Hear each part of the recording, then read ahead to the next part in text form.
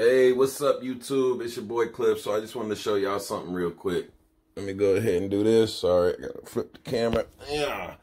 All right. So if you have a PlayStation 3, I believe this is, and you ever have the internal disc tray mess up on you to where if you go like this and you try to put a game in, see that?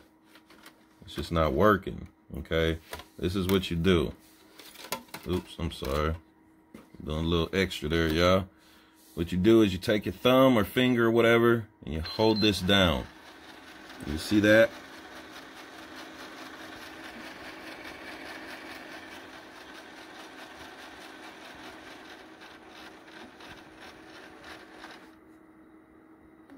Okay, and you'll hear it stop. And then you'll take the CD and you'll put it in and then you'll pull it out.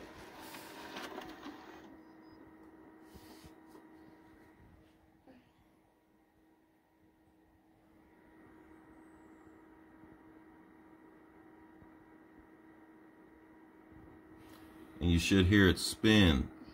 Now, if you don't hear it spinning, then that means it did not work. Okay. So take it back out. Hold it down. And you sh you should be hearing a beeping sound. There it is.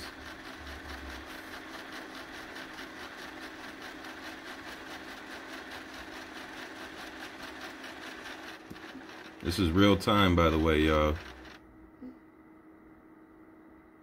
Okay, so it stopped. Let's try it again. I'm gonna put it in, pull it out.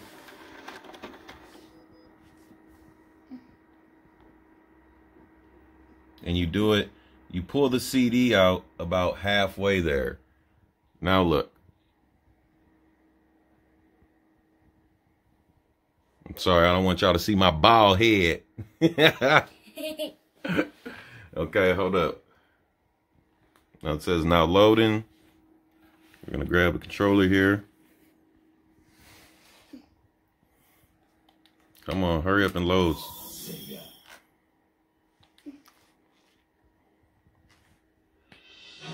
There it is.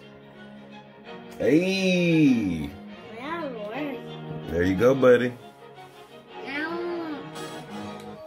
Yep, just press start and all that. Um, we're gonna go to no. We're gonna load a complete new game here, okay? Why?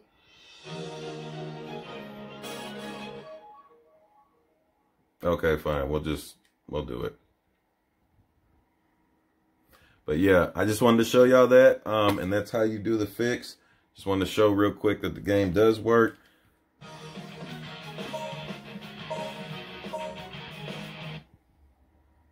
Just trying to get it to load real fast. Yeah, now your PlayStation working, buddy. You excited? You play all your games now, huh? I'm spinning up here, you fixed it. Yep, I fixed it. All right. Fix it. And there it is.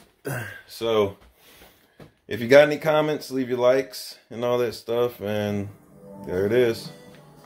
All right. You're welcome, buddy.